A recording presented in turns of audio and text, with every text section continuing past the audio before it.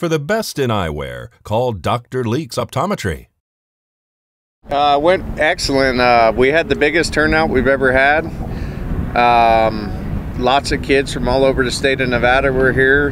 There was approximately 200 kids from all over the state of Nevada, and it just keeps getting bigger and better every single year.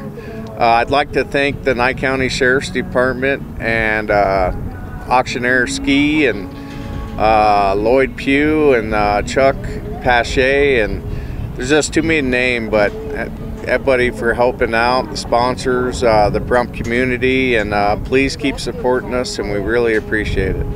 I know you had uh, the Kiwanis out here volunteering and the Rotary Club cooking some food too, right? Yes, and they did an excellent job, and they've helped us uh, the last couple of years. Well, Reba with the Kiwanis has helped us every year. Yeah. The Rotary Club's been helping us the last two years, but it's been excellent.